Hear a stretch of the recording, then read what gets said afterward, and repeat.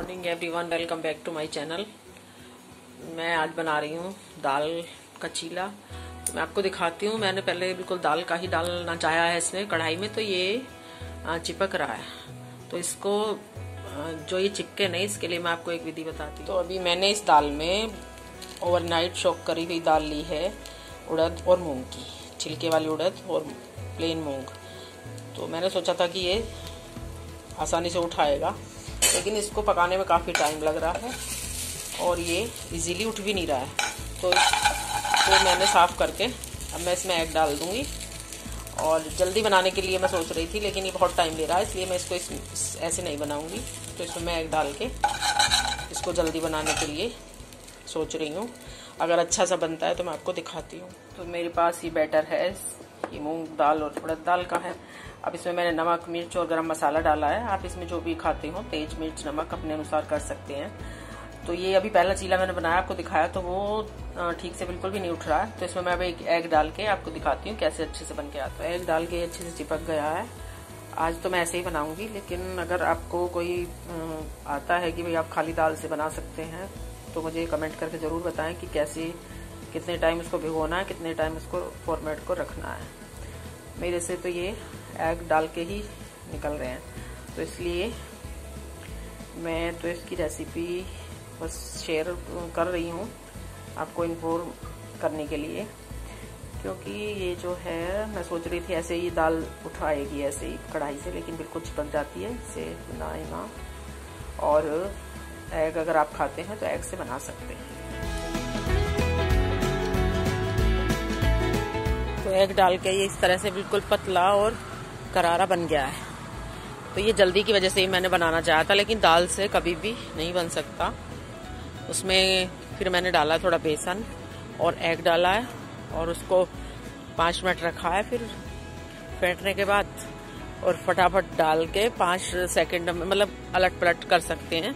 इतनी जल्दी पक जाता है। तो जल्दी बनाने के लिए इसमें एग डाल लो, जो लोग एग खाते हैं और जो एग नहीं खाते हैं, वो थोड़ा अगर घर में टाइम है तो जब इसको बना सकते हैं।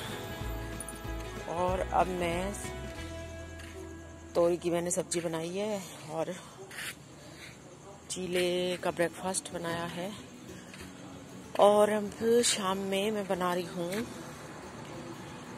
बिल्कुल प्लेन पनीर लूँगी और उसको हल्के से रोस्ट करूँगी और उसमें ऐसे ही ग्रीन धनिया वाली चटनी का फ्लेवर डालूँगी और उसको थोड़ा सा टमाटरों के साथ रोस्ट करूँगी। और बस यही सब्ज़ी है, क्योंकि ग्रेवी अगर पनीर की कोई सी भी सब्ज़ी बनाते हैं तो उसमें हमें बहुत मसाले और तेल वगैरह सब डालना पड़ता है। तो पनीर की सारी पौष्टिकता उसमें ख़त्म हो जाती है। वो टेस्टी टेस्टी रहती है पौष्टिकता इतनी नहीं रहती जब उसमें बराबर के तेल और मसाले ज़्यादा डल जाएँगे।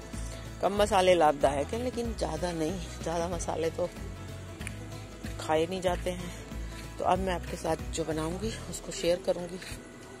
तो इंस्टेंट पनीर बनाने के लिए मैंने इसमें एक चम्मच घी डाला, थोड़ा सा जीरा तो आज मैं कई किलो लौकी से सारी सब्ज़ियाँ बनाने वाली हूँ। आपको दिखा रही हूँ, बहुत सारी ये लौकी हैं, ये है कसी हुई लौकी। तो ये लौकी के जूस में मैंने प्याज, टमाटर, अदरक, एक बड़ी इलायची, ये सब और लहसुन। इस सबको मैं अच्छे से बॉईल कर लूँगी और ये जब गल जाएगा, इसको ठंडा करके मिक्सी में इसकी ग्रेवी बना लूँगी। और इसमें अब मैं कोफ्ते बनाने के लिए क्या क्या डालती हूँ, आपके साथ शेयर मार्केट से थोड़ा सामान लिया है दुर्गा पूजा के लिए।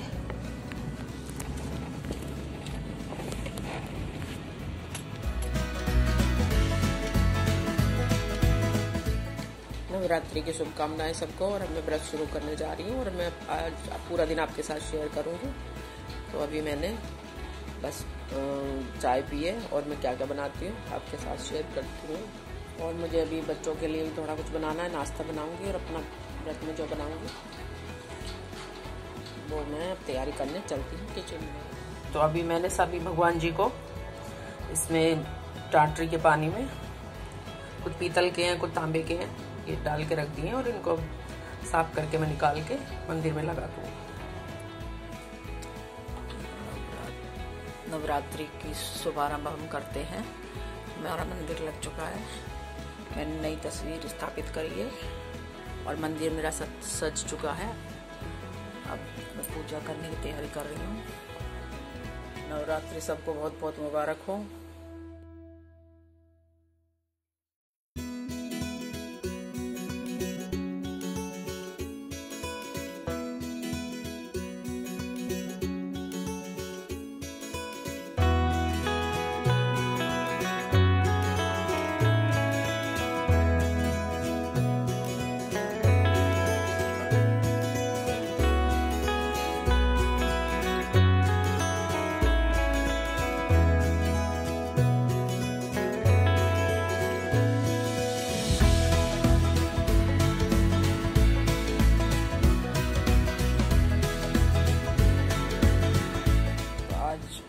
पहला व्रत है और मेरी अब पूजा संपन्न हुई है। अब मैं आज बहुत टाइम लग जाता है मंदिर लगाने में और पूजा करने में। सेकेंड डे से तो नियमित बन जाता है। तो आज मैंने मंदिर लगाया है और अभी पूजा समाप्त करी है। तो अब मैं आपको अपना मंदिर में कैसे मैंने भगवान जी स्थापित करे हैं, हर नवरात्रि में मैं ऐसे ही करती हूँ। तो यहाँ पे अग्नि वो लोग चढ़ाते हैं इसमें। और आज बृहस्पति का व्रत है तो मैं पूरी तरह से पाँच दीपक के साथ पूजा करती हूँ। मैंने आपको कई बार बताया हुआ अपने मंदिर में। और ये सब मैंने पहुँच के, मैंने और त्यागी जी ने दोनों ने ये सब पहुँच के भगवान जी स्थापित करे हैं।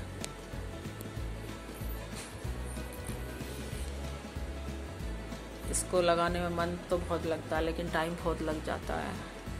लेकिन कोई बात नहीं, श्रद्धा के साथ करना चाहिए ये व्रत। माता रानी सबकी सुनती है। अब मैं चलती हूँ किचन में। मेरी पूजा संपन्न हुई है। शेरा वाली माता की जय। और पूजा समाप्त हो गई है। मैं थोड़े से आलू खाऊँगी, थोड़ा सैलेड और दही। और उसके बाद थोड़ा आराम करूँगी।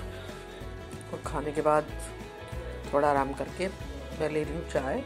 थोड़ा सा नमकीन। मूँगफली इसमें थोड़ा वैसे ऐसे ही फ्राई करके नमक डाला हुआ है। और चाय पी के अब मैं शाम में क्या बनाऊँगी आपके साथ शेयर करती हूँ। मैंने मंगवाया एक पैकेट सूट है किसी का। तो मैं अभी आपको दिखाती हूँ। कैसा आया है। मैं इसको अनबॉक्सिंग करने जा रही हूँ आपके साथ। तो मैंने ये किसी का मंगवाया है ऑर्डर करके। अच्छा है। ये इसका कुर्ता है और ये शरारा है। और ये इसकी बहुत सुंदर चुन्नी है। तो ये बहुत ही प्यारा सूट है। जैसा दिख रहा था अमेजोन पे, वैसा ही है, बिल्कुल। बहुत रीजनेबल रेट में है। ये जीवा फ़ैशन स्टोर से है। अच्छा है जैसा है दिख रहा है वैसा ही कपड़ा पहले भी था और ऐसा ही निकला है अच्छा है। अब मैं बना रही हूँ साबुदाना की खिचड़ी। ये काफ़ी सारा साबुदाना है। मैंने तीन चार घंटे पहले भिगो दिया था। कायर में कट करके मैंने आलू लिए इसको मैंने पहले फ्राई कर लिया। थोड़ा सा नमक डाल ये है कुछ पनीर ये है कट करे हुए टमाटर। ये सब मैं इसी में डालने वाली हूँ। और कुछ सब्ज़ियाँ तो इन दिनों में होती नहीं है वो भी व्रत में खाने के लिए। तो इससे मैं भी साबुदाना की चटाकेदार खिचड़ी बनाने जा रही हूँ। थोड़ा सा घी और जीरा डाल के मैंने टमाटर डाले हैं इनको थोड़ा ग्रेवी टाइप होने दूँगी। पनीर फ्राई कर चुकी हूँ आलू फ्राई कर चुकी हूँ। अब इसमें मैं डालूँगी साबुदाना नींबू का जूस हरा धनिया ये मैंने साबुदाना से खिचड़ी टमाटर हरी मिर्च की चटनी और थोड़ा दही। ये हमारा शाम का खाना है। और एक बार बना के देखी मैंने कई बार रेसिपी डाल चुकी हूँ। साबुदाना की खिचड़ी की एक बार बनाइए। व्रत में भी खा सकते हैं। इसको जैसे आप नाश्ते में भी ले सकते हैं। बहुत ही जल्दी बनने वाली है और बहुत ही टेस्टी चीज़। तो नवरात्रि स्पेशल फ़र्स्ट डे के ब्लॉग के साथ ही अब मैं करने जा रही हूँ एंड और नेक्स्ट ब्लॉग तक के लिए बाय बाय